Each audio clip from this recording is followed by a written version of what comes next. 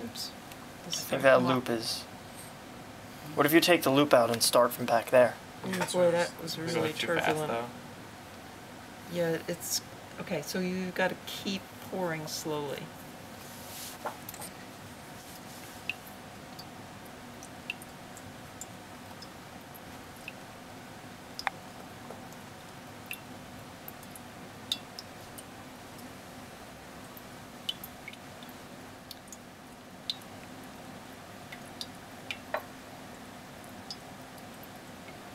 Go.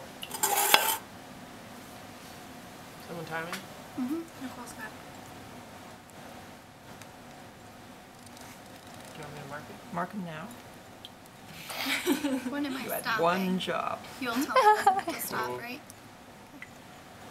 Good point, Brian. Why didn't you tell us after one minute? Oh, it's going up again. It's still going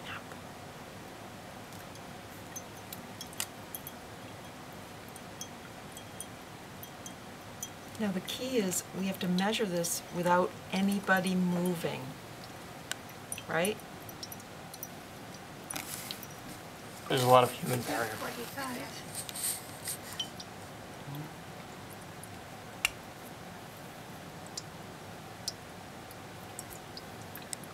Five, fifty-six, fifty-seven, fifty-eight, fifty-nine.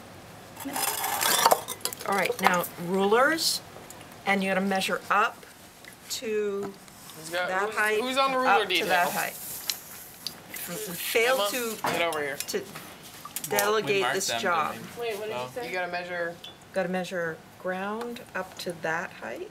Oh, shoot. Well, can we just It's do it gonna be- after? I you gotta can't keep it at this elevation. Ah. Can we turn it a little bit? It looks like it's slanted that way. Do we? Yeah. And Oh.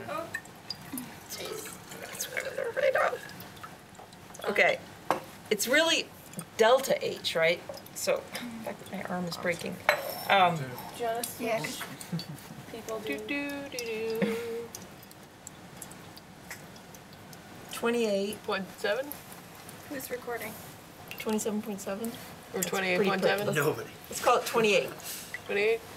Put H one twenty-eight, Oh, wait.